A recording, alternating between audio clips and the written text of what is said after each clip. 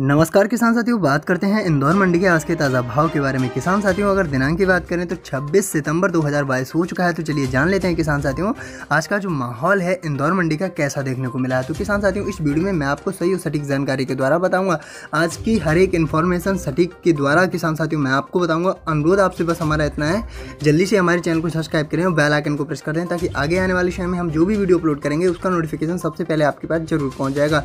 तो चलिए किसान मित्रों, अब मैं आपको इस वीडियो में सही और सटीक जानकारी के द्वारा बताऊँगा। आज का जो माहौल है, जो बाज़ार है, स्थिति है आवक से लेकर नीलामी रिपोर्ट तक की हर एक नॉलेज आपको इस वीडियो में मैं आपको बताऊँगा कैसी नीलामी रिपोर्ट देखने को मिली है।